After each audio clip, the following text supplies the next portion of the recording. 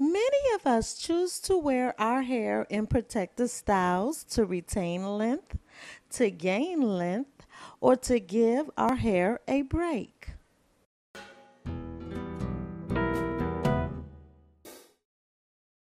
However, proper maintenance and preparation is key when you're going into protective mode. Whether you're protecting your hair with braids, weaves, or wigs.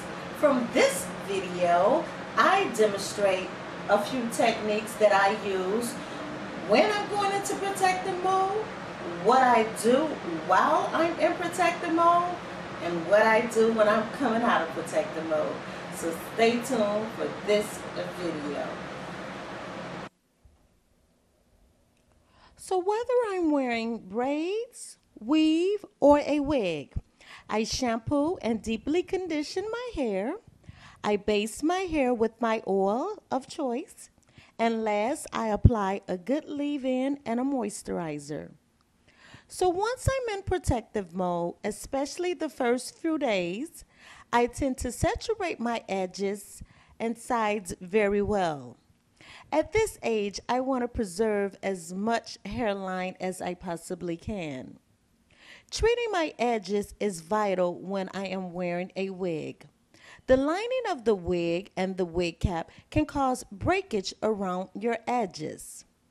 I am at liberty to say that I have experience from wearing wigs and not properly taking care of my hairline that I experience hairline breakage.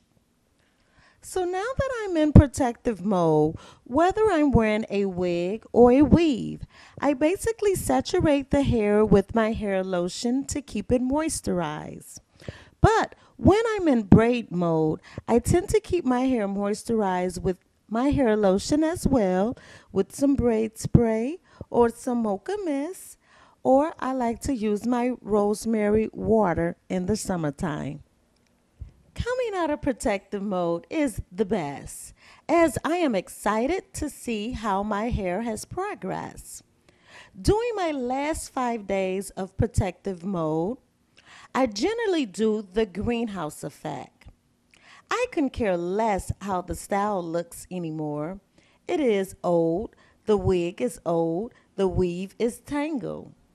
I pretty much over moisturize my hair to ensure a less headache when I am removing braids or a weave.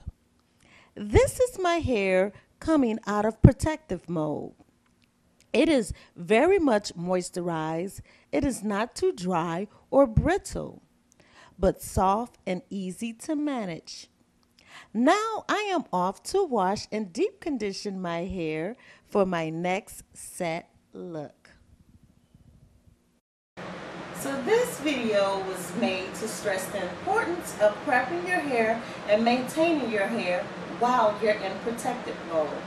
I'll never forget the day, almost 25 years ago, when I went into an African braid shop to get those Janet Jackson braids that she wore in the movie Poetic Justice. As I sat in the chair to get my hair braided, I thought to myself, they're not even going to wash my hair. From that experience alone, it has taught me to always prep my hair when I'm going into protective mode.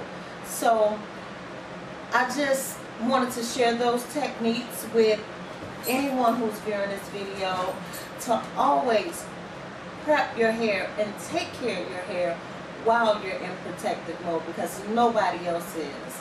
So I hope you enjoyed this video. Please rate it, comment, and I welcome all new subscribers. And thanks for viewing this video.